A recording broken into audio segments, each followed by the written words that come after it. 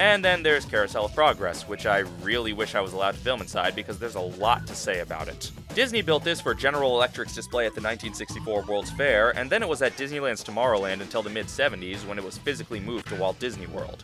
This makes it not only the oldest attraction at Disney World, but also the only one Walt Disney actually touched. Quick, try and catch Zora!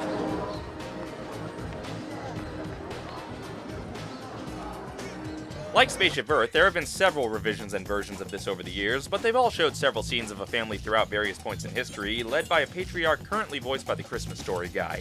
Since I don't have any footage, I'll just have to reenact them. Hey, yes, sir, we sure do live in a golden age here in either 1904, 1927, 1940 something, or the 80s idea of the near future. I just love talking about the groundbreaking technological advancements that went into these old timey common household items that I use every day. And I hear tell I'm about to name drop some famous historical figure who's planning something big for next year. But I think they'll never amount to a thing. My family sure interrupts me a lot. Women, am I right? Also, I think this show contains a scene where my son's looking at my porn.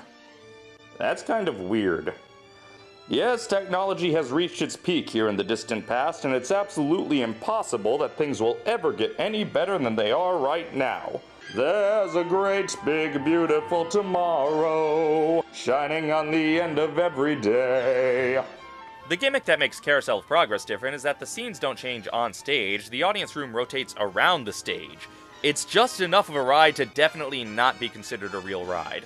Despite all of its cheesiness, it has a genuine charm and optimism, and the theme by the Sherman Brothers is just as catchy as Small World, but not nearly as annoying.